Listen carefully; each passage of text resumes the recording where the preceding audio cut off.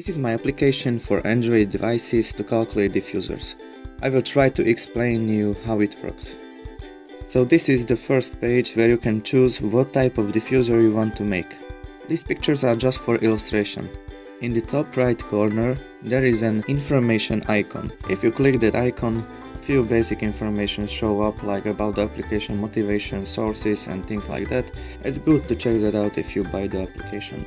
I will show you how you should use this application and also how I used it while I was building my diffuser. So I was building this diffuser which is a two-dimensional QRD with 23 wooden prisms in one row. So you need to choose the two-dimensional QRD. Okay, I used design frequency of 900 Hz. Let's choose 23 because there are 23 wooden prisms in one row. Okay, and I made it inverse too. So click that inverse button, let's calculate. Here you can see the basic informations about the diffuser, the usable range, minimum sitting distance and things like that. Also there is a recommended prism width which means that your prism should be this wide. Because on the internet I didn't find a wooden prism with a width of 25 by 25 millimeters. I had to find something else, so I found 30 by 30 millimeters on the internet. Okay, let's say 30 and save. So, here are the pieces of wood.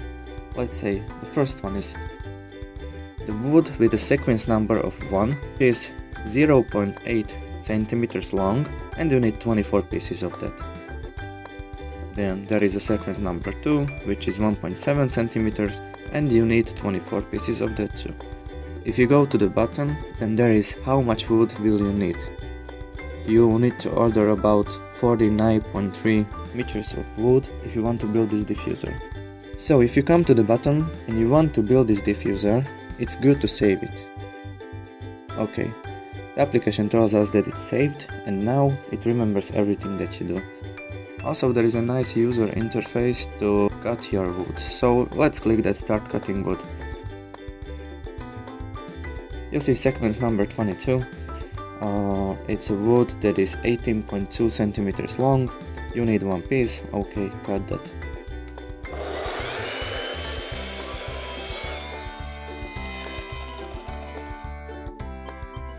Next is a sequence number 21, which is 17.4 centimeters. You need 24. If you cut one, you can click the plus button. If you cut another one, then click the plus button. Or you can cut these 24 pieces and then just click the sequence number 21 done.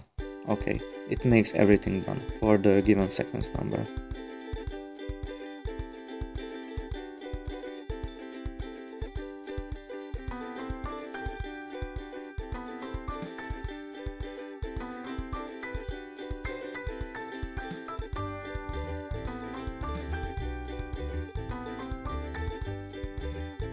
If it's done that you can start your build.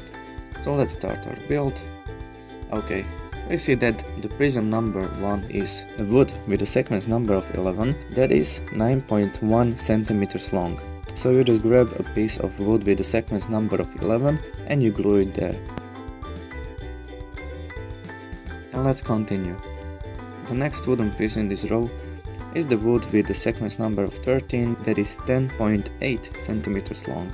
Okay, glue that too. And so on and so on.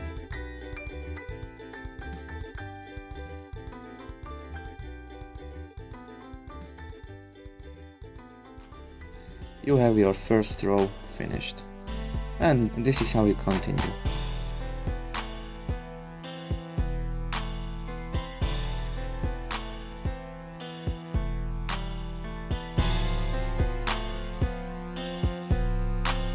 Then, when everything is finished, you can use your beautiful masterpiece.